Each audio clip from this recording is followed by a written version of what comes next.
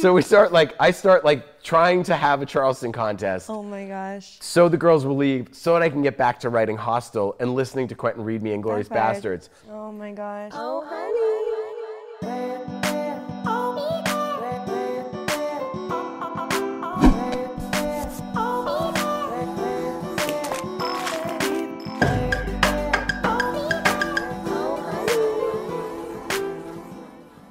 Welcome to the Oh Honey podcast. Where you get the sticky and the sweet with Sommer. And Amanda and Eli Roth. Woohoo! Hello.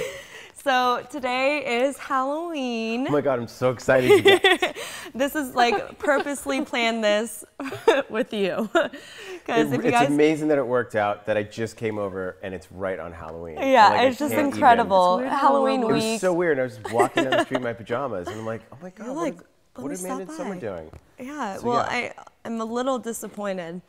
Not gonna lie. You know, Uh, everyone expects me to be in horror, like Halloweeny pajamas. Right, But you should. sometimes, you know, I just like wearing blue and looking all colorful. I mean, it's contradicting a little bit because you write a lot of horror scripts like Cabin Fever, Hostel, direct a lot of horror movies, and but now you do a bunch of other things too. You have I House, do. House with the House, I did like kids horror, spooky horror. I like to Yeah. play against type. Yeah. I think everyone thought initially that I was going to look like, you know, if- when they, they saw Marilyn my movies, they thought I would look like Marilyn Manson or Rob Zombie.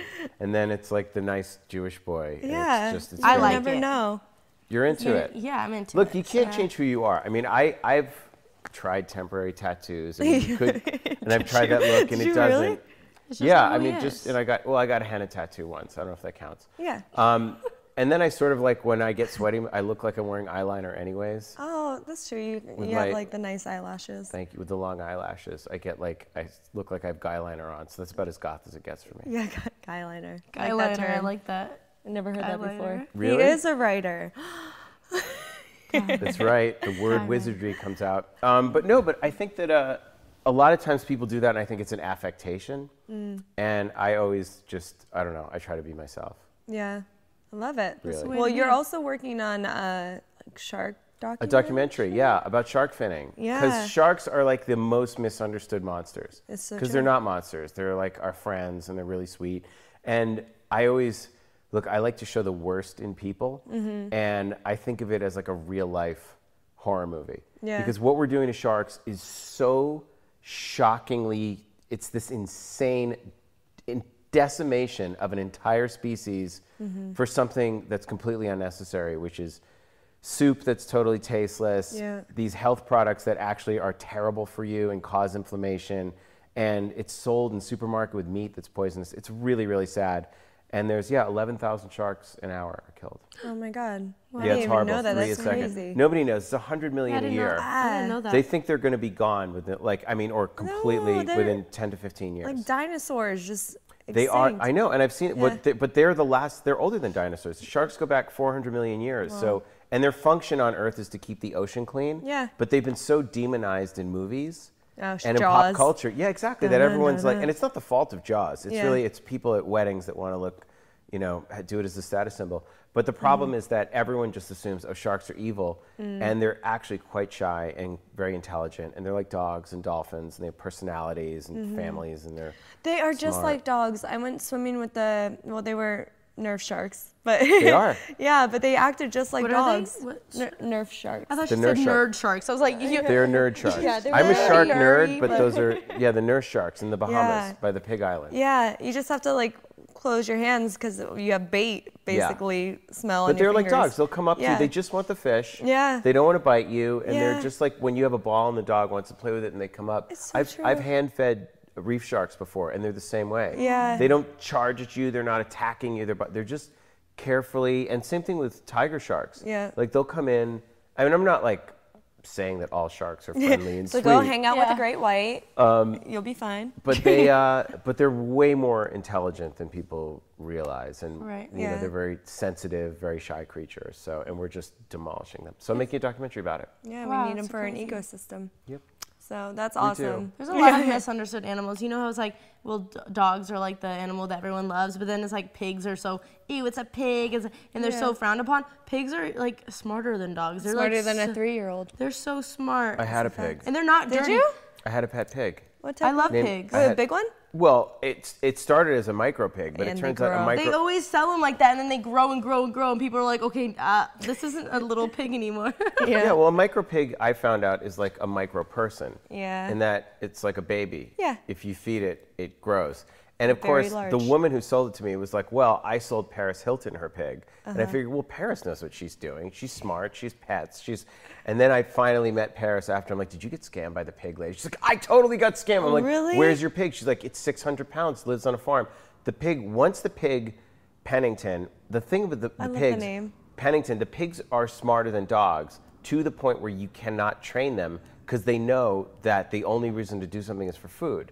so they'll Ah. They be like, "Come here, you." come here." They outsmart you. Yeah. So I would sit there and clean up. I had a little, little like a litter bowl for Pennington, and he Hmm. would just come up and he would just flip the whole thing over, and I would have to clean it up And was like sweep the whole thing.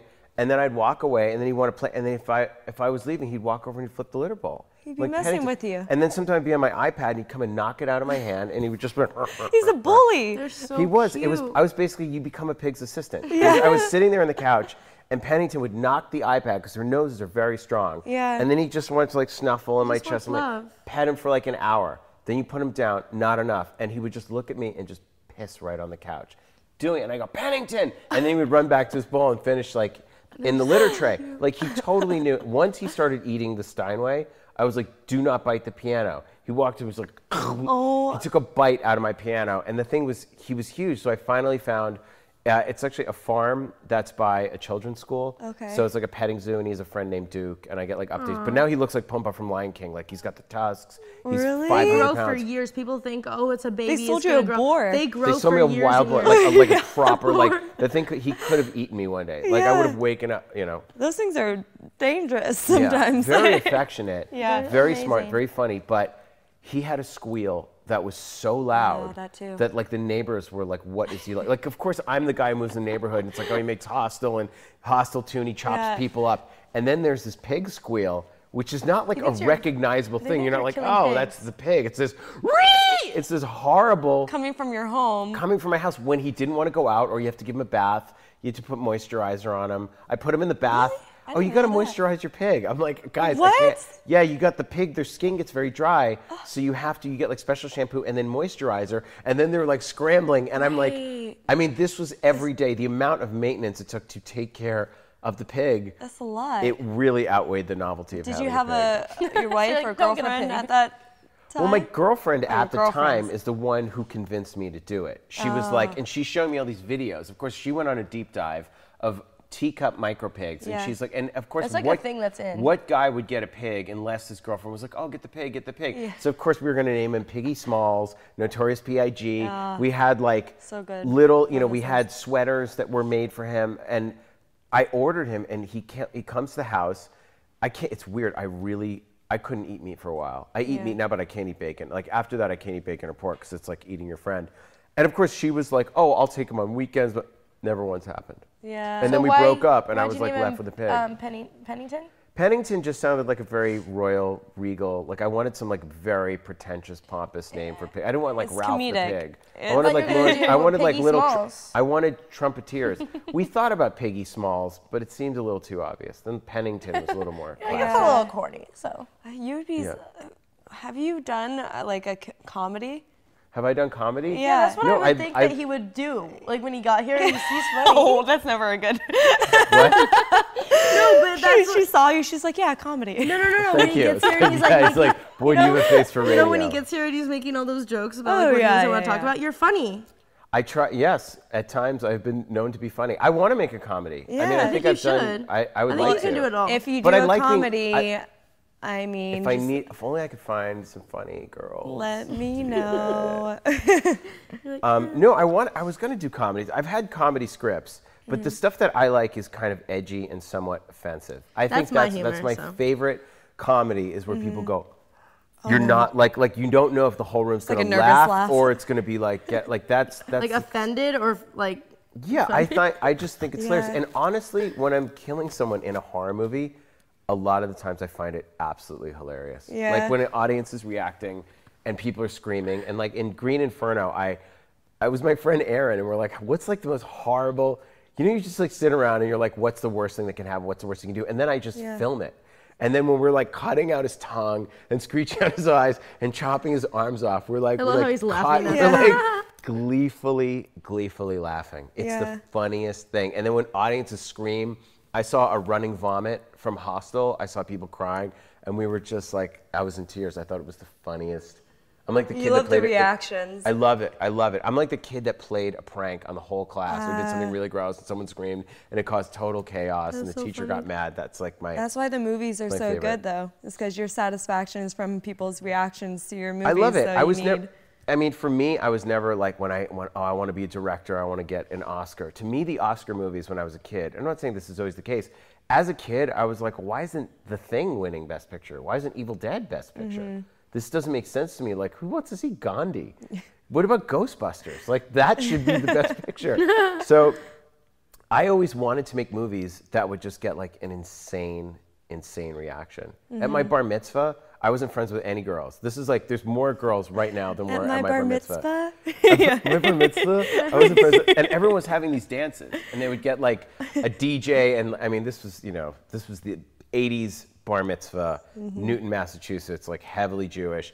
Everyone was trying to outdo each other with like winning Yeah. the limbo contest, and then they get like the Boston Breakers. They were actual like these Jewish kids sit around and like watch these like kids from Boston and come in like, just, that's so funny. and then try to do it. It's Yeah. like, thank God there weren't cell phones around. Um, but I was in friends. and My parents were like, "Do you want to have a dance?" And I was like, "What?" Like a bunch Yeah. of guys. Like girls thought I was weird because I was like a little pudge ball in an Iron Maiden and Texas Chainsaw Massacre T-shirt. And I we I got cut in half with a chainsaw at my bar mitzvah. I was like, I will do my bar mitzvah if I get cut in half with a chainsaw.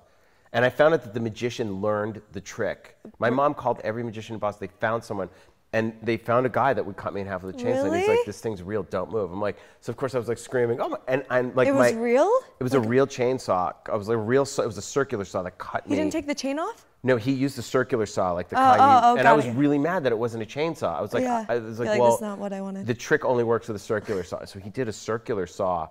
The guy really did it, and like, he could have killed me. I actually Yeah. could have been killed. I think about it now, but and then we watched. It was hilarious at the time, and then we watched the horror movie Mother's Day Oh, and yeah. it was and it was like an axe in the balls and heads being chopped off and kids The were gore. just the I was just I've never been happier. People were like, I've that was- never been I was like eating pizza, watching decapitation, being like, I'm a man now. This is amazing. This is great. This is what it's gonna be like. But you know, it's weird how you like you have your mind set on one thing of, oh, I'm gonna do this. Yeah. And then you actually do it, and it's it's amazing. It feels great. You're Yeah. like gleeful about it. Making your dreams come Dream true. and nightmares, and then when you pass it nightmares. on. But now that's why I was, But it was, that's why it's fun doing the kids movie with House of the Clock in its Walls because I wanted to.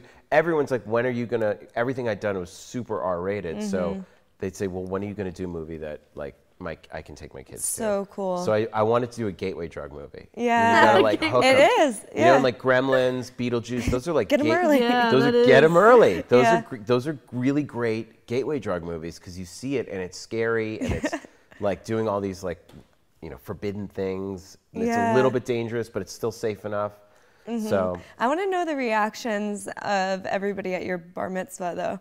oh my God, I had a cousin who like kids had nightmares. Like like these these were kids who were not every other allowed to watch scary Jewish boy movies. in town. oh my God, people were like, these should have been T-shirts. I survived Eli Roth's bar Yeah. mitzvah.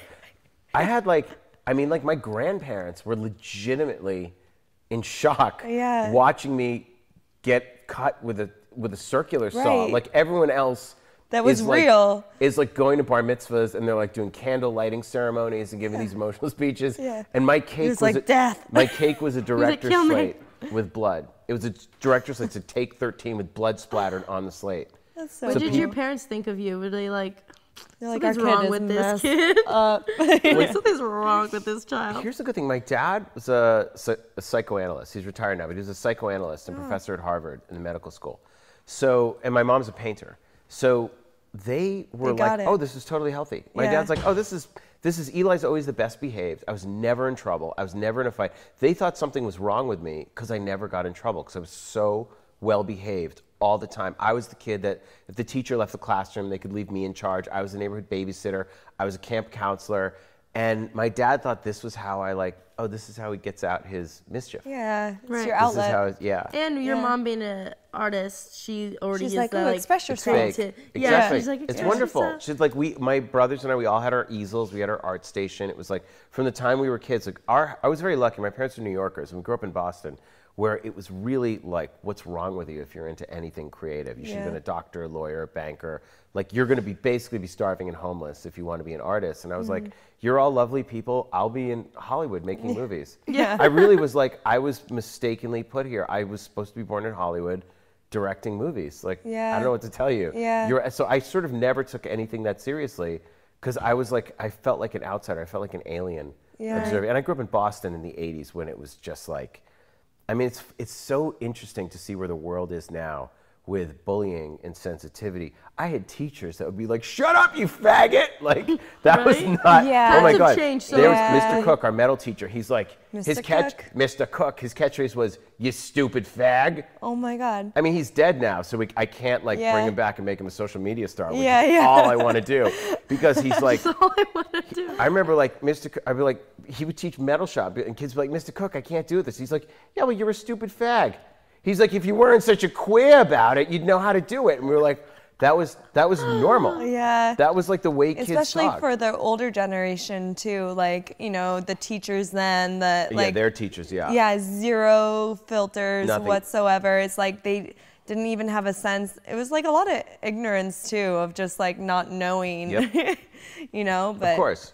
Of course. Yeah, you it's totally back now different and you can see where it came from, but Oh, Yeah, Can oh, yeah. Can you imagine someone saying that? They'd be on like front cover of every news channel, like being sent to jail.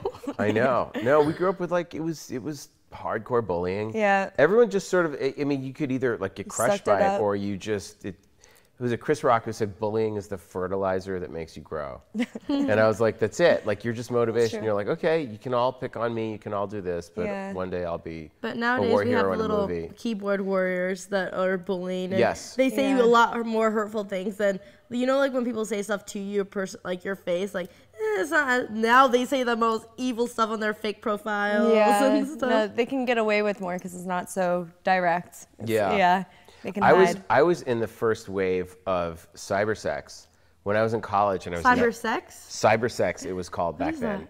What is that? I love that. There was Is it the shuffle one? It's so is that? funny. Cybersex was a term that was created when the internet and modems started showing up. Yeah. When I was in college, I went into my my RA. It was like give the RAs in charge of the floor. My friend Bob, and he he had this thing. I was like, "What is this?" He's like, "This is the internet." I'm like, "What's the internet?" He's like, "It's like blinking messages." I'm like, and it was he's being paid by Penthouse Magazine to type like filthy messages and back and forth what we would call texting or Yeah. DMing or I, it was like it was messaging Yeah. back and forth. Doctors and scientists were the only ones on the internet. They were paying 50 cents a minute. We were getting he was getting Yes. paid like $12 an hour. These people were paying like 3 or 400 dollars a night to talk to a girl. A penthouse pet that they thought saying like filthy things. Little do they like- know it's like this bull Ner- guy, like on the back That's- end. but that's the thing. I was, I was like, what, what is this? I want in on this. And Yeah. he's like, he's like, well, it's Penthouse, and there were ads in the magazine like talk to our pets. He's like, it's me and three other guys. I was like, I want a job. Oh my he's God. like, well, one guy's thinking about quitting, and I was like, so maybe you can take his job. So we went on his computer. And we were just like, you suck. None of the guys like you. Your messages are terrible. Who'd want to fuck you? You're awful. And like we bullied him. Oh and he's like, God. I'm quitting. And so I bullied him, and he quit, and I took his job.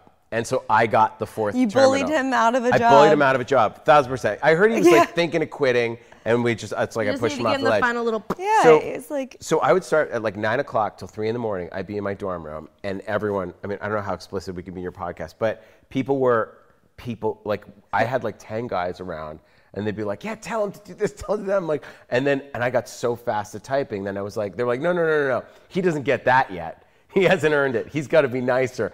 And then I would have, I had to have like six different personalities. Yeah. I was Mireille, the beautiful 22-year-old French girl who loved sunbathing topless in Central Park and couldn't understand why it was a crime.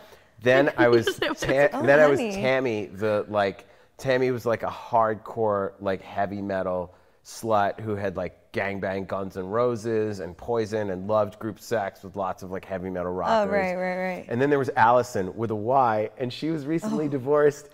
And she would try. She was a writer, and she was trying to meet characters for a new book, but she was really bad at it. Yeah. And but but then the guys were like, Allison, we don't want to have sex with you because we respect you too much. And I'd be like, really hurt, be like, no, please. But I'd do like a really bad job. It's like someone Yeah. who's never talked dirty before trying it for the first time, using like very technical. And and so I was switching in and out, and you'd have like ten guys going at the same time. And so you'd be like multiple I was personalities and switching like personalities, and I swear to God, it helped. It helped me with writing yeah, I'm sure. because you're like thinking of dialogue in character from this other person. and I sat down, and at some point, my parents were like, "Where did you learn to type like that?" Because I was typing like 100 words a minute, and I was like talking so fast. They were like, "How?" do-" I was like, getting "Oh, I don't know. I've just been, I've just been practicing." oh, I my love yeah. how you remember all this, every single detail. Well, he really Wow. built those characters. Here's I mean, the problem I have. I, I have one Allison of, with a Y. You, I'm like, damn, these details. like I who love was it. it on on Taxi? Who's the actress? Who was it? Um, who remembers everything that ever happened to her? I know. And I, I'm not at that level, but I have a very very weird memory, and I thought that everybody had this memory. But I can remember things that happened like in fourth grade, like they happened this morning. Really? And my, I found out my brother was like this too, and we were start. We sort of realized, and we just kind of. And my friends were like, "No, Eli's the elephant. Like he doesn't forget anything." Mm-hmm. And I can I remember. don't want to do anything bad to Eli. He No, it's terrible. No, but it's, it's Never weird. forget. I don't want. I don't want to remember. I couldn't remember math. I couldn't remember his, history or stuff. Just moments. But like I could remember like who arrived at birthday parties in what order, what gift they gave me, Do what not they miss a wore. birthday party. Like entire conversations that I had in third grade, like completely useless, superfluous information. Yeah. And I think, and I always say like, do I write to stop the voices in my head, or the voices in my head would cause me to write? Like I don't Yeah. know. But there's a weird thing where, like this podcast, I'll watch it, but I will like fully remember photographically. But just very strange. I- our it's not- towels on He's our always gonna remember this for the rest I'll of his life. Halloween outfit. I'm sorry, you have to Forever, remember everything you do. No, it's not that I want to. It's like it's garbage. I'd love to delete parts of it, but What yeah. about dreams? Like, so me, I will have Oh, a. forget I'll 'em. never remember a dream. Yeah. If I remember a dream, it's very rare. Mm. Well, here's how to remember your dreams. Because my father's specialty was dreams, so he's a dream analyst. So I grew up with a dream psychoanalyst father, and analyzing our dreams was like the family activity. Like we would Every sit morning? at the dinner table. Yeah, we would sit like at dinner at night or at breakfast in the morning. Because my dad worked out of our house, like in the TV show Growing Pains, which again was before Cyber Oh, growing pains. So like, wait, yeah, what was the theme song? I can't remember the theme song. Everywhere I go. Is that it? I was. I, it's weird because I never. I was not like a big growing. I, I think that was it. I was I way think more into Charles in Charge. I, I don't know if it was growing pains, but there's this one theme I- song. Sorry, That sounds familiar though. completely side tracking here, and we'll go back to your. But I used to bike around my neighborhood singing that song, and just like just by. With a robe on her head. Growing Pains, the towel on her head. Yeah, And a silky- everywhere I go. and a All right. silky, a silky back, black robe. Oh, Silky weird. black Here we robe, just thinking. Um, so yeah, we analyzing. We asked my dad, like, how do you? There's a technique you can do when you right when you wake up.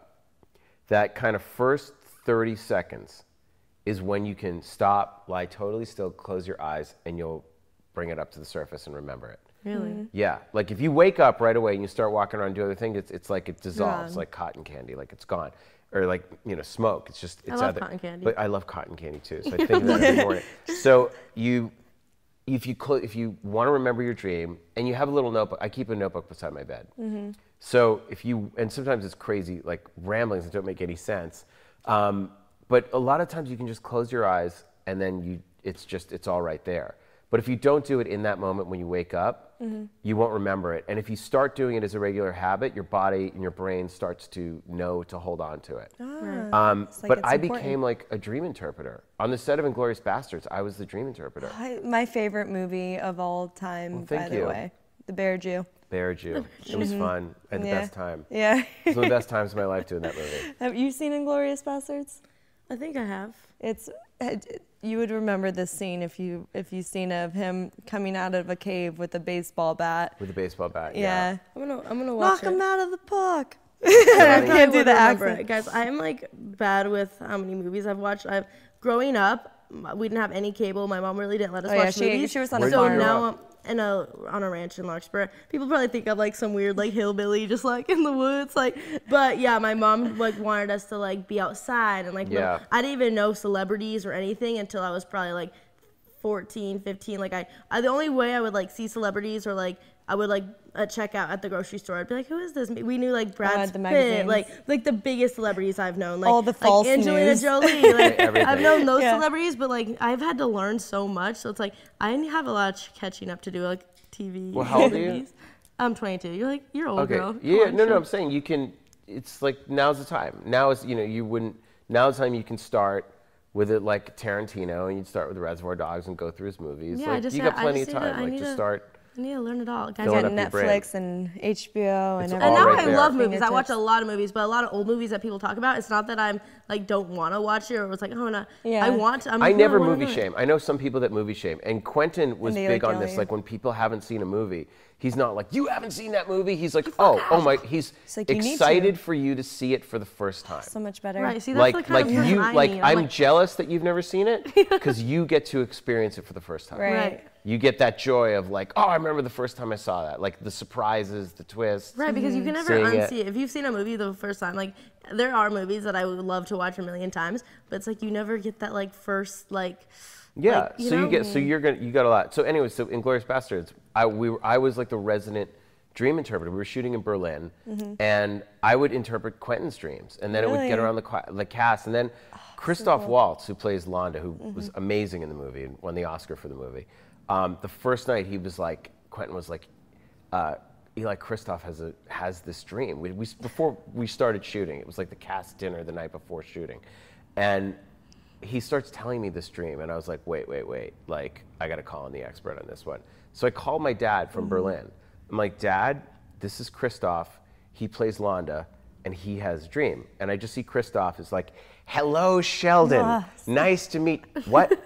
yes, I was. There was a mattress and an elevator. Hang on one second. And he left the dinner, and he came back like two hours later, and he just was like ashen and he had like tears in his eyes and he's like your father is the most incredible man i it completely i understand it i see the character i know how i'm going to play it like it, Yeah. it unlocked everything like there's so much in our dreams that tell us what we're thinking what we're really feeling everything we see that we think we're not picking up every shape everything every interaction every person it's all going in there and your dreams are where it comes out so once you start discussing and analyzing your dreams it's really one of the keys to kind of understanding what you're really feeling So since you're a dream Uh, interpreter. interpreter, amateur but yes amateur, but still more than we are, more than anyone is. So I have always have this dream, like Oh. recurring dream.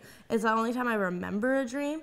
Is like I always have this dream where it's like I'm running, but I can't run. Like I'm not going anywhere. It's we- It's Yeah. like the weirdest thing. Like my legs, I can't feel them almost, and I'm trying to run, and I'm like not going anywhere. and I just like rem- I like feel this like like in the, my sleep. I feel like like this feeling that I'm like just like feel like defeated. Like I don't know. It's like the weirdest feeling. And anytime I wake up, I'm like, was that a real dream or was that like was I running somewhere? Because me, I'm a fast runner. I like to run. I used to run track and stuff. So then I'm like, wait, can I not run anymore? What does it mean? So I just want to know. well, it can mean several things, but generally, usually dreams. I mean, there's a lot of visual puns in dreams, mm-hmm. Um, and everyone's had that dream where you're running, you're not going anywhere, and you feel like your legs are in molasses, and you just feel Yeah, well, I- exhausted. I and it's it the worst because then you wake up and you feel ripped off of a night of sleep because you're like mm-hmm. exhausted in your uh-huh. dream yeah, yeah, yeah. and then you wake up. Generally, that dream happens when you're at a point in your life where you feel stuck mm-hmm. and you want to get to the next level. And there's something in your career or in your life, whether it's in your relationship, maybe you're in a relationship that isn't moving forward. Maybe there's a thing in your career that you want to advance to doing an acting thing or a writing thing, and it's just not happening for you yet, or you're not moving forward. I mean, mm-hmm. that's that's generally what that dream means. It's pretty obvious and it's pretty simple. Mm-hmm. But when that dream is occurring, next time you have that dream, try to stop and think about like where you are in your life in terms of relationship, in terms of career, in terms of finance, and is there something that either is holding you back or that you're holding yourself back from? Because also, like when you kill someone in a dream or when mm-hmm. someone dies in a dream, it's generally there's different. Even if when it's other people, it's a side of yourself usually. It's usually someone representing an aspect of your personality. So try to when when I have a dream like that, I think, am I frustrated because I'm not moving forward? What is keeping me from moving forward? Are you, you know, we all self sabotage. You'll stop yourself from doing something because it's easier than, you know, it's easier than, than failure if it's someone mm-hmm. else's fault. It's like, well, I tried to do that, but it, so it's, it's your subconscious is telling yourself that you're, you're stuck. Right. Do you think that's that, that makes sense? Yeah, I in haven't. your? I've, is when I think back to when I would have those dreams because I haven't had a, that dream for a good like six, seven months. Um, but when I would have it, I think I was at a part of my life where it's like I'm not happy with like where I'm at in my career. Or I know that I'm more than what I put on to be. So it's like, but I stopped myself from being that. So that's of course. Just exactly like what since it you is. set me, since you've met me. Exactly. Amanda, It's I'll take all the happening. for everything. no. and it always ha- it doesn't mean it, you won't have that again. I mean, everyone hits that point where you achieve something and then you're at a plateau and you're like, okay, am I ready? Is this where I'm, am I happy where I'm at, or am I, you know, everyone always needs to be moving forward. Isn't so hard for me to like, hear things with this towel. I'll talk really loud, Say that again. but it looks Isn't really it weird good. that we all have dreams like that? Like I thought I was alone weird. in this. No, no, no, no, no. It's like the dream of your teeth falling oh, out, Oh, yeah, and the dream oh. of, you know, being chased by some, the dream of being naked at school. I mean, it's all dreams about. We all. Here's the thing: we all have feelings of vulnerability, being afraid, and a lot of the times in our life we don't allow ourselves to experience those feelings because, like, I can't just sit here and be like, "We're all gonna get blown up." Like, whatever that fear is, Right. You know, we we all. Oh, you'd be the Right. worst guy to hang out I'm with. more, I mean, I Like, put it oh. into movies, Yeah. but I try to channel it into creativity. But you know, we, I was, I used to sit there as a kid. I grew up in the safest neighborhood, literally Newton, Massachusetts was what it's like safest city in the country. I would sit there and be like, someone's def- now someone's definitely coming in with an axe and is going to chop at my parents and cut my head Your off with a chainsaw. Poor friends when you were little, just They're like, probably like, what is wrong? like, They're probably so terrified shocked that they have no like, idea that that's even a thing. They're like, what is he talking about? all the time. I would think that. I was just like, I, my brain goes there. But I think that we, we all kind of bury those feelings mm-hmm. every day, you know, whatever. Like, we can't walk around feeling insecure about relationships, whatever. And that's why we have therapy, is to talk about it. But that, your, your subconscious, it's there. There's your conscious mind where we're at, and then there's your sub, subconscious. And a lot of the times you're, you're burying it, you're feeling it. And then when it comes out in your dream, that's when you're, you know, you're You know completely open and there's no judgments and there's no filter. So that's when you're letting those feelings out. so fun. I have one. Yes. So I haven't had it. It was like when I was little, I would always have this dream, but I still have no idea what it means. If it means I would have it like every night. So I would wake up in my dream and I would walk downstairs and I lived in a two-story house in Connecticut. And I would walk downstairs and it would be like super dark and spooky and it was like Christmas Eve. And then I would walk into the living room and there'd be a big Christmas tree with all the gifts underneath it. And then I'd walk up to the Christmas tree and everything would be like eerie silent. Walk up to the Christmas tree and then the scariest face of this old lady would come from underneath the tree, grab my legs and start pulling me under the Christmas tree. What does that mean? What does that? Mean? Wow. Next thing. Yeah. Eli puts us in a movie. yeah. Wow. so in the dream, you would wake up, go uh-huh. downstairs, and, the, and this would happen not around. Not around the holidays, mm-mm. but I, Christmas has always been my favorite. Not Or for you, anymore, kidding. Hanukkah. Guys, my yes, house because you're Jewish. um, or, yeah, we liked Hanukkah. It wasn't as fun as Christmas, though. Kind of felt ripped off. Um, I mean, it could mean a number of things.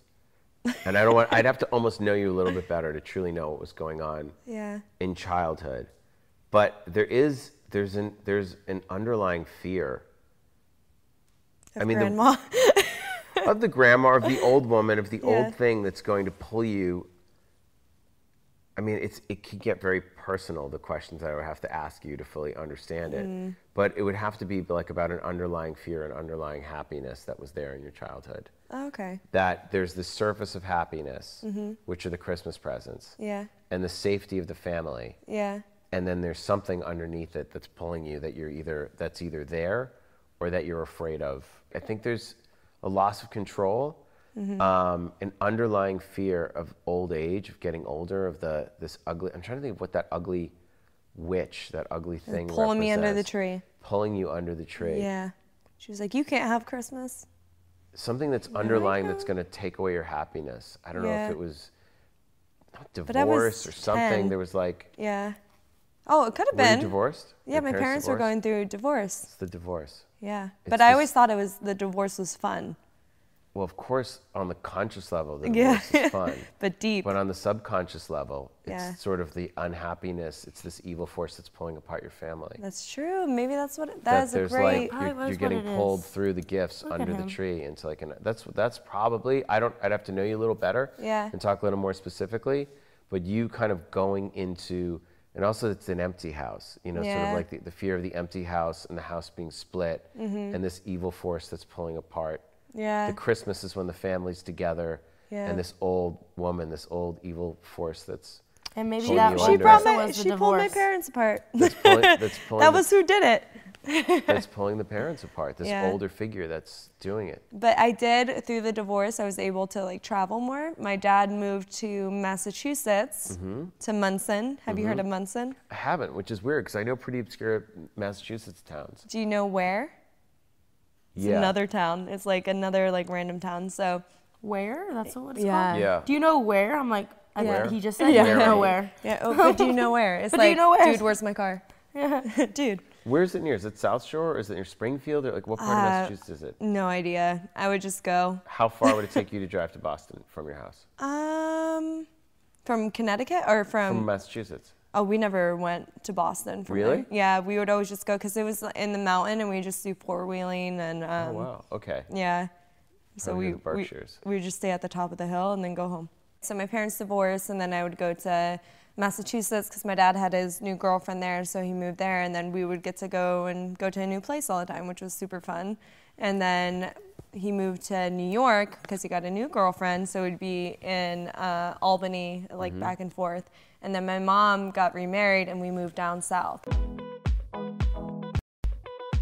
I was always I was the last option. I was the last picked in gym class for girlfriends. I mean, girls Really? wanted nothing to do with me. Yeah. I could not get arrested in high school. no. I couldn't. I real I really couldn't. I couldn't get a date. It's yeah. like it's it's funny how it all kind of flipped for me later in life, where all the stuff you want to have happen when you're like 15, 16, 17, 18. Yeah. Girls thought I was weird. They thought I was into horror movies.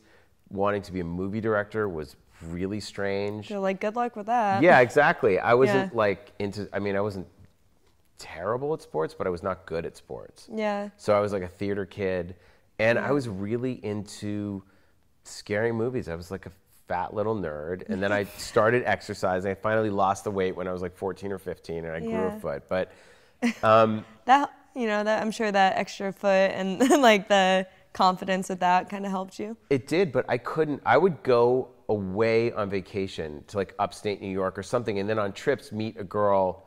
Or like hook up with girls. I mean, what make out, like whatever it was Yeah. you know, back then.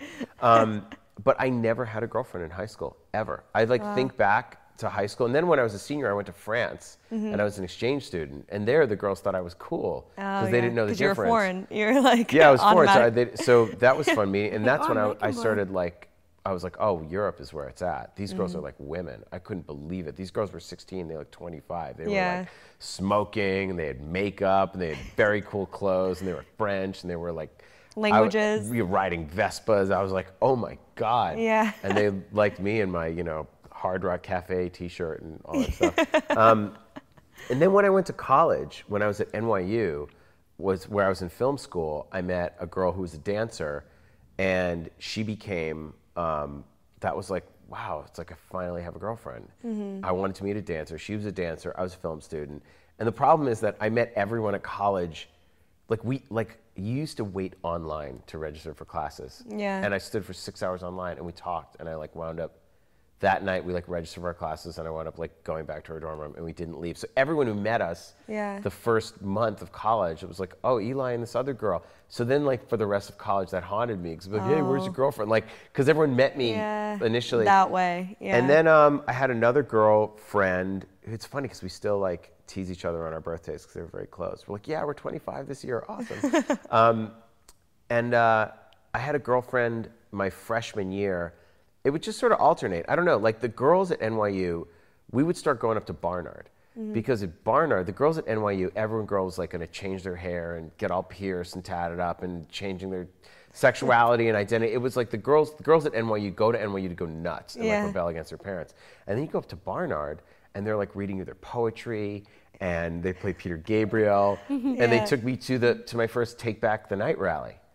And they're like, we're going to take back the night. I was like, Yeah. what's take back the night? And it was like all these women are getting up and taking back the night that they were date raped. Mm-hmm. And you're just like sitting there. I remember one girl just going, my clitoris is not a doorbell. And we're like, no, it is not. Yeah. And then you just like, like you go to take back the night and Yeah. then she reads you her poetry and puts on Peter Gabriel. And it was like, they have stuffed animals. It was amazing. That's it was so like, awesome. it was like this cozy, you know, they were like these super smart New York City feminist girls, but they were still girly, whereas the girls at NYU were like Just going crazy. Yeah, totally not.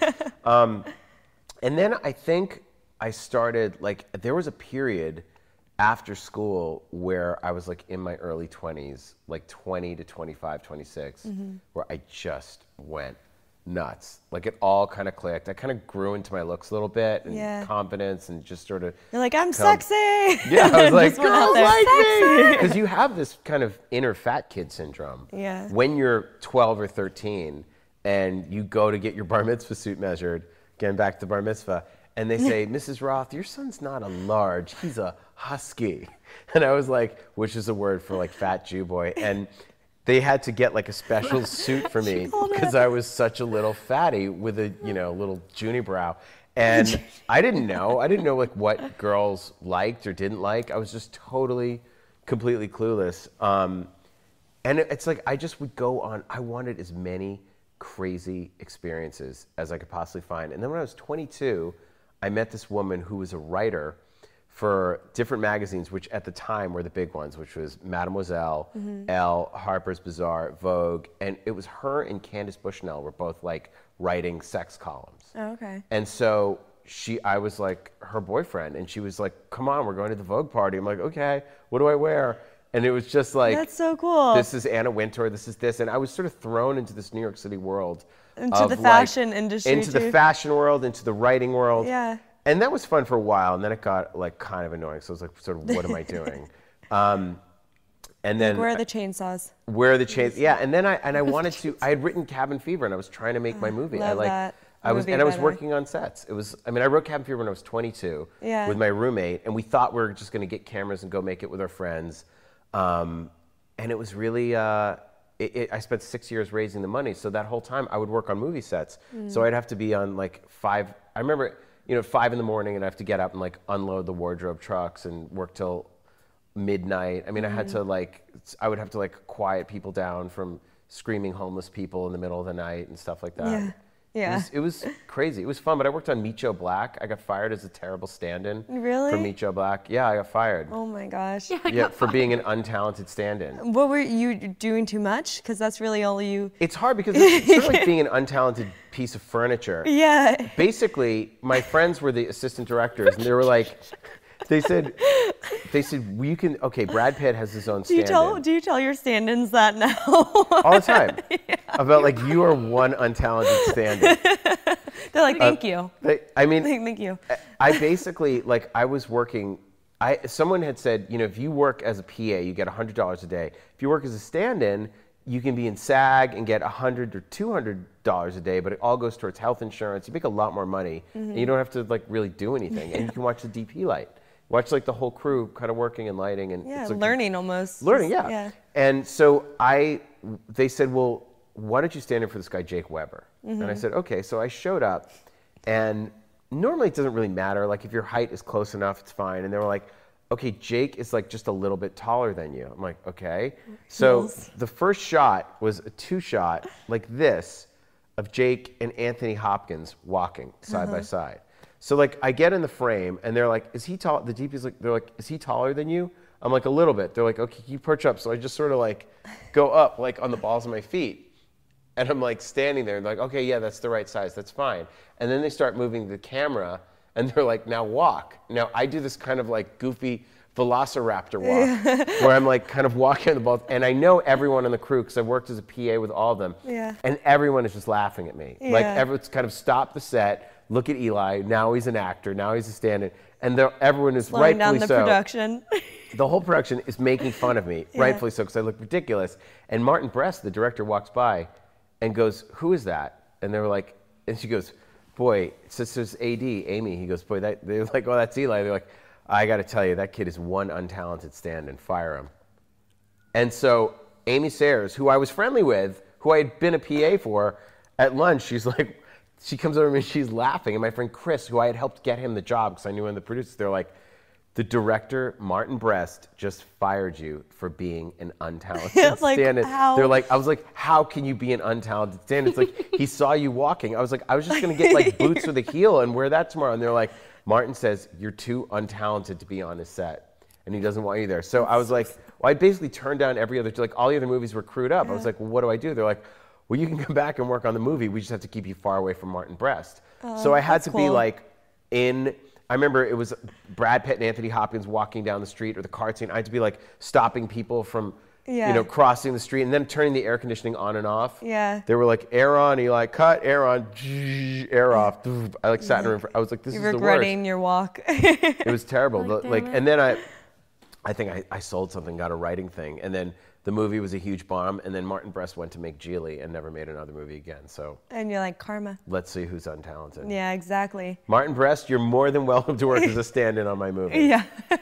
No, it's too And bad. you can It's- fire the worst part is because Martin Brest Right. was one of my favorite directors. I love Martin. I loved Beverly Hills Cop, Going Uh-huh. in Style. I love Midnight Run, and I was so excited to like watch Martin Brest direct. then he fired me. That's why you never want to meet like your idols, your idols. usually, because then Yeah, we were actually talking about that. It's like I don't really want to meet you guys. Thanks. yeah, it's like thank It's hard. gosh you're like you're Sometimes- cool. Well, oh thank yeah. you. Look, Yeah, you that knew one. who I was before this morning, but um, No. no, I- it's I didn't. it's cool. You know, look, there's some people I that knew he was. look. There's Yeah, sometimes look. It can go either way. Sometimes you can meet your heroes, and it's hugely disappointing. Yeah. Because you've built so much up, and then other times, like my hero in film school was Tarantino, Yeah, and he became like my best friend. which is so, So, cool. which is weird in one way, but also totally natural because you're like, oh, this person understands me. They're making exact. Because when I saw Reservoir Dogs, it was the first time violence had been in movies in like 10 years. Mm. Yeah. And it was like, oh, someone who knows what I want, someone who loves the movies I want. this, you know, I was like, this, this. If I ever met him, we'd have so much to talk about because we like the same movies. Yeah. And he felt that way when he saw Cabin Fever. He's like, finally, someone that likes horror movies. But and then we met, and we were like, like totally nerding out. And then it grew into a real friendship. And then, you know, Basterds together was one of the greatest, greatest experiences of my life. And how did so you were friends before doing that? we were movie? friends, and he came on and he read Hostel. Yeah. I remember I, I remember I had turned down a movie. I had turned down Dukes of Hazzard. Oh really? and I felt really weird because I thought the script just wasn't great. And I, I felt like I screwed up because this was like I'd only done Cabin Fever, Yeah. and this was a Warner Brothers movie, and I just thought like, shit, I really this is stupid. Like I'm supposed to do one of those movies to then get in the system to then, But you know, and it was not a didn't- horror movie. And I remember going to Quentin's house, and I was like, he's like, what's the matter? I'm like, they offered me more money than I've ever seen in my life, and I was kind of going broke. Yeah. And I, he goes, he goes, well, obviously you said you said no because there's a reason you felt like I was like I just didn't know how to make that movie good. Yeah. Someone else might, I just don't. And I go, he goes, well, what ideas do you have? Because you're a writer, you're a creator, you're like you come up with your own thing. And I go, ugh, I got this one idea, but it's so sick. I don't know if anyone will ever see it. Mm-hmm. and he's like, what? And I told him the idea for Hostel, and he's like, that's the best idea for a horror movie I've heard in 10 years. You have to do that. I go, what if what if no one sees it because it's just so violent? And he goes, "Fuck it, who cares? He's like, what, don't think about opening weekend. Think about the weekend 15 years from now if kids are still watching it at a sleepover. Yeah. That's the only weekend that matters. 15 years from now if people are still Right. watching it. He's like, Reservoir Dogs made no money. Mm-hmm. 15 years later, it's a classic. It's like you don't know if it's going to make money or not. He goes, and if you do it for $3 million, you're not going to get hurt. Someone will make their money back. Yeah. And I, and I told him, and I wrote it. I wrote it in like 10 days. And then I brought it to his house. And, it, and we just like, we went through the whole thing. He's like, this is good, but it could be better. Mm-hmm. And I remember we went out to the Saddle Ranch. He's like, let's go to the Saddle Ranch. So he's like, let's take the Pussy Wagon. So we get in the Pussy Wagon and we roll up to the The Saddle car Ranch. that attracts females. I'm so. I mean, he pulls up to like nice and subtle in this big yellow, you know, the truck from Kill Bill that Yeah. says "Pussy Wagon" on the side. Oh yeah. Oh So, my gosh. yeah, Yeah. like, oh, He's like legit Yeah, I pussy know. wagon. Oh, okay. It's the pussy wagon from Kill Bill. Yeah. The big yellow one with the red. You know. Yeah. So we pull up at the Saddle Ranch, and I have my script and my notes, and we go and we sit down, and we're like, and he starts like going through dialogue. Now this is like Quentin Tarantino, like my mm. hero, who loved my first movie, is giving me script notes. He's like, I think that this guy wouldn't know how to use a gun. We got to figure out a different way. He's like, anytime. I feel like there's movie convenience. I'm going to call you out on it. I'm going to call bullshit. He's like, this feels like you're not thinking hard enough. This is movie convenience. Mm-hmm. How would you? We don't know how to fire a gun. How would we get out of this situation? So we're like, and he's giving me. He's like, I've always kind of wanted to use this line, and like, we're sitting there, kind of rewriting like the dialogue together and talking about the script.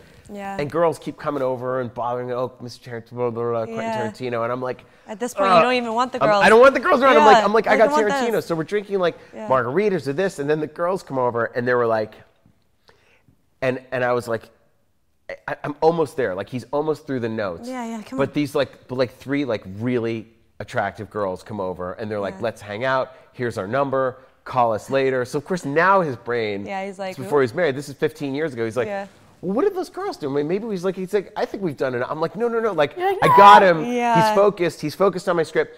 So He's like, I think we're good for. He's like, let's go back to. I'm like, why don't we just go back? He's like, guys, we- we're gonna go work. He's like, let's go back to the house. So we go back to his house. Yeah. And he's like, we gotta, we gotta like work some more. And then he's like, so we're reading through the So you script. go back to the house with the girls. No, with me and oh. Quentin. But of course, his brain is like, well, are these girls are gonna come back? So Yeah. he's finally like, but I've got him focused on the script, and he's like, well, maybe we should see what those girls. Maybe those girls want to come out and go to like dinner with us. They said they wanted to go to dinner, right? And I was like, ah, yeah, but wouldn't it be cooler if it's just the two of us? Oh and he's like, gosh. yeah, but we're doing, you know, let's. And so he's like, do you want to hear some of Inglourious Basterds? This is 2004, and he reads. He starts reading me Inglourious Basterds, acting out the whole Hitler bear juice scene Oh my gosh. the scene so that I eventually five years later, you know, four years later, go to play. So Mm. we're, s- I'm sitting there and I'm just like listening to the most amazing dialogue I've ever heard in my life, and he's acting it out. I call it like Quentin Tarantino theater. He's like nine nine nine, the dare you to and he's like, I'm like, wow, your Hitler's amazing. He's like, I Yeah. do good Hitler, right? Like so, so I'm sitting there, and then the girls show up, and I was like, damn it. These girls are like, like not only do I have Quentin rewriting the movie with me, he's now reading me from his new secret script project he's been working for 10 years. Mm-hmm. And these girls show up, and I was like, oh, what are we gonna do? And so these, so the girls were like, hey, what's going on? Like, and it's just totally not the movie vibe at all. Yeah. They want to go swimming, they want to do this, and I was like, let's have a Charleston contest. Yeah, yeah. I'm like trying to think of the most annoying thing I can do so the girls will leave. Oh, oh and my so I was like, and Quentin's like, that's a great idea. Oh, he loved it. He thought it was the funniest thing ever. Yeah. So we put on the music and like we started, and I was like, here's my Charleston. And I start doing the Charleston. I was like, you know, in the 1920s, that would be like a thing to have a Charleston contest to see who could do it for like three days straight. So nonstop. great. You just set it up for like a three day marathon of the Charleston. Yes, yes. So we start like, I start like trying to have a Charleston contest. Oh my gosh. so the girls will leave so that I can get back to writing Hostel and listening to Quentin read me and Perfect. Basterds. And then Quentin's like, and then the girls are like tired of the Charleston. so the way they get out of the Charleston is they strip off to their underwear and they jump in the pool and they're like swimming around. I was That's like, an easy out. it's like, hmm. The girls, I was like, They're good. all right, One- They're real good. challenge accepted. Yeah. So I was like, all right, what are we gonna do? And I was like, I'm really You hungry. take off your pants and you start doing the No, Charleston. I was better. I was like, turns off the I was like, I'm so hungry. And Quentin's like, I'm hungry too. Let's get some food. Let's get some food. So he, we wound up going. Quentin's like, the girls want to go somewhere really fancy, and Quentin's like, let's go to this Mexican, this Mexican place on Sunset that's basically a step above Taco Bell. The girls really want to go in the pussy wagon. They're like, we go because they want to roll up Yeah, at some restaurant with Tarantino in the truck. Uh, yep. Now, Quentin had his 1988 Volvo, which was destroyed. It's the car that he would drive around that he didn't care about getting dinged, but it mm-hmm. was his car from before Reservoir Dogs. Uh-huh. And he's very superstitious. Yeah. So he likes to have the 88 Volvo because that's like the car that he wrote Pulp Fiction in and that would always get tickets and he had to sleep in that car when he was- Yeah. didn't have a place to live. Like This is that kind- Blanky. Exactly. Yeah. So I was like, why don't we take the Volvo? The Volvo's perfect. He's like, let's take the Volvo. The girls see this 88 Volvo and they're like, Disappointed. very disappointed. They're like, "Well, we sure we can't try because this is like Kill Bill has been in the theaters three months ago, so it's Yeah. like the truck. Everyone knows the truck. So This is why we're here, know? right? So they go. So finally, the girls convinced we go to we we got we get in the truck. It's okay, fine. Uh-huh. So we go to the Mexican restaurant. The girls are just not impressed, and we're just like eating nachos and blah blah blah. And the girls like we really wanted they wanted to go to like some club on Sunset Yeah, that would cool Hyde or whatever was the hot club at the time. Get photographed, maybe. Yes. Yeah. Mm-hmm. That's what it was all about. And Quentin's like, Girls I, suck. he's like, I know a much better place we could go. The girl's like, let's go to a club. Let's go to a club. We want to go out. We want to go dance with you guys. And, and Quentin's like, I know a much better place. And they're like, what? He's like, let's go to Plaza. And they're like, what's Plaza? And they're like, you don't know Plaza? Plaza's like one of the best clubs in the city. We walk in, we, we roll up to Plaza. The girls don't know that this is like a full gay trans bar. Oh, really? And Quentin and I walk in. Santa Monica? no, it's, it's on La Brea near uh, near Melrose. I had never been in there. Yeah. Quentin's like plot. It's a Mexican, like trans bar. It's like a theme. It's you got, and you it's guys fully got and like and the girls walk in and their Yeah. faces are just like this is not what we signed up for and everyone's like Quentin and Quentin's like what's up and they're buying us drinks and all the girls it's like a full gay trans bar Yeah, and me so and Quentin fun. are being treated like royalty they're being so nice to us Like, welcome back, they're buying yeah they're like for Quentin they loved Yeah. Kill Bill they loved the girls like and all like everyone is fully done up Yeah. like Latin drag, full hardcore, and we're having So a great fun. time. And the girls are like, finally, it finally boils over, and they're like, look, we really just want to go. And then like he wound up like taking them to a club. Like they, Yeah, he gave them so what they, they wanted. won. They won. The girls won. Ah. And then, but by that point, it was like 11 o'clock. I was like, I'm, I'm going home. I'm going Yeah. sleep. But I wrote the script. I mean, like. Eventually, I went and I made the movie. I finished it and shot the film, and he came on as executive producer. And then we did Hostel 2 together, and then I did the fake trailer in Grindhouse, and then, Mm-hmm. um, you know, Inglourious Basterds, he he had been writing. He's like, I have this character, this Boston Jew. I've really had you in mind for it. and he saw me my acting in Cabin Fever and in Death Proof, his film, and he's like, you could use like you're not pushing yourself. He's like, you really have it. You really could be great. And it's like when Quentin says that, of course. and Mm-hmm. Then of then- course knowing you're going to be on camera with Brad Pitt, there is no motivation like the on-camera motivation. If you know you're going to be photographed in a movie with Brad Pitt, you're like, yeah. like I am you know, the bear just went, went crazy. Yeah, and so I just fully went in it. And then afterwards, I wrote Man with the Iron Fists with RZA, the Mm-hmm. martial arts movie that Quentin came on as exec producer. So basically, every project we've done, Mm-hmm. it's just been for fun, where it's like one of us was doing it, and it's like, hey, do you want to be part of it? That seems to be kind of how it works. I mean, best. obviously talented people getting together, but then just it's just you want to work with your friends. You want Exactly. that's your life now. Yeah. Like, you know. It's the best. And, and it's great to work with someone who is so much better than you that believes in your talent, Mm. Ah, that. Mm-hmm. you can really learn from. That they're like, okay, no, no, this is really good. This is, you're on the, you know, you sort of need someone, like a mentor figure, someone you really respect to kind of kick you in the ass a little bit. Everybody needs it. But you pay it forward too. Like Yeah. you you were blessed to have that happen in your life. But even with me, when I was like to you, I'm working on scripts and stuff. You're like, anytime, just send it my way. I believe that. Yeah. I, I believe, I think it's, look, I, I feel like I have a lot to offer, and you want to offer it to the people that will really mm-hmm. appreciate it or get use out of it. I mean, I've found, I've had a great time, you know, mentoring. There were, look, I remember Jon Watts is this mm-hmm. director who made this short film of a fake trailer of me directing this movie Clown, mm-hmm. and I contacted him and said, "Let's turn this into a real movie." And we did the we did it as a real movie, and now he just did the two Spider-Man: Homecoming. He directs the Spider-Man movies. Now he's doing a movie with Michael B. Jordan. So he's like, he's he's a huge director now, and and I love Jon. I just thought he was a great great guy and so smart. And I, you know, was able to get him a million and a half dollars for his first movie, and that feels really nice. And then there's, I I mean, look, when I was when we wanted to make a sequel to Last Exorcism, we never quite class cracked the title Last Exorcism Part Two. I wanted to call it Devil Inside, but then that movie took that title. And Damien Chazelle was like a 25 year old math tutor when he came over to my house, and me and the other producer, and we're like, he's really, really smart. And he had mm-hmm. made an indie movie, and we're like, he should write it. Now, obviously, he probably should have directed it too, mm-hmm. but at that money, he took that money and he was able to make the short film of Whiplash and then make Whiplash because of that. So, Yeah. you know, and then even with Man with the Iron Fist, I spent a year with RZA just helping him, teaching him how to write. And then he puts Dave Bautista in that, and then Dave Bautista gets Guardians off that. So there's certain people that, you yeah. Mm-hmm. know, and then Ana de Armas was in Knock Knock. It was her first English language movie, and she's blowing up. And, you know, Lorenza, who, you know, obviously we married, but we did um, three movies together. So it's, It's, it's great. It's like yeah. when you find people that you really believe in their talent and you can help them and nurture that talent and they go on and do great things. It's just a great. I try to be that producer that I wished I had when I was trying to make my first movie in those six years before I got it made. Mm-hmm. You know, when you can give someone their break and they really deserve it, it's like a nice feeling of like, yeah, that person, you know, that's who you want to see succeed. And those are the people that you want to help. And then when they do succeed, you're like, yeah, it's great. It's like good for them. They needed, like, whatever help you can give them, it doesn't really cost you anything. It's not going to hurt you in some way.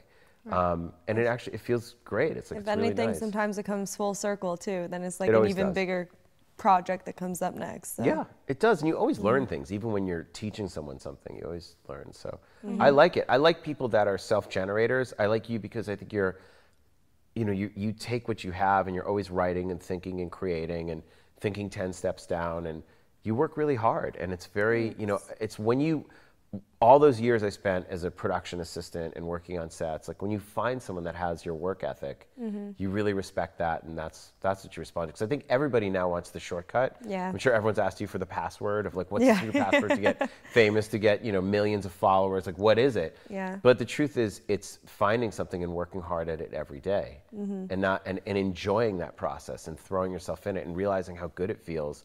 It's exhausting, but you know, it's it's the a lot of people want to do as little as possible. Yeah. And just want and then want it instantly. It's having your passion and then just working towards whatever that is. Yeah. Mhm. It's authentic. Would you say, just to kind of close this out and tie it back in with love, life, relationships, all that Oh, I feel like we didn't even talk about that. yeah, but you know, I Kind feel like your love is involved. your your Yeah, work. This movie, it's true. Yeah. So that's kind of that's what it is. You can love your work and then just be working the rest of your life and No, I always tell everyone I was like, any relationship I get into, it's like I'm married to directing. Just Yeah. so you know, you have to be okay with that. Yeah, you got to be my like my. You're basically my love affair. Yeah. You're like my side piece. and First thing is there's directing. people that if that's that communication, if you know that, then you know it's a good relationship, Yeah. even as like second best. yeah. Just have to have a girl that's okay with being a side bitch. we didn't even go into the honeypot. I was just so interested in all this. I could we could talk for hours and hours, but thank you guys so much for watching Oh Honey. You can check the links below. Check out all of Eli's stuff. Check out his movies. Sommer's gonna watch Inglourious Basterds for sure. Yeah, I'm gonna let you know what I think. Fin, my shark documentary. Oh, and Fin. Oh, Fin. Yes, watch Fin and actually watch the movies that he uh, wrote and directed himself. So Links below. check them all out. It'll all be below if you're on the visual for the YouTube video. But also for the thumbs it up. podcast, make sure you're downloading our podcast on Apple. Was it Apple- Apple Podcasts? Yeah. Spotify, all the iTunes. platforms I that you think it's consume. iTunes too. And make sure you send in your juicy stories with lots of detail to diary at ohoneydiary.com. And we didn't get into the pot today, but No. we will tomorrow. I mean, we will later. So send in Next week. your shades. Bye, guys. Love Bye. you. Oh, oh honey. Diary LLC makes no warranty or guarantee as to the accuracy or sufficiency of the information featured in this podcast. The information and recommendations presented in this podcast are general opinions only. This podcast should not be considered professional or expert advice. Reliance on the information provided in this podcast is done at your own discretion. Oh, honey.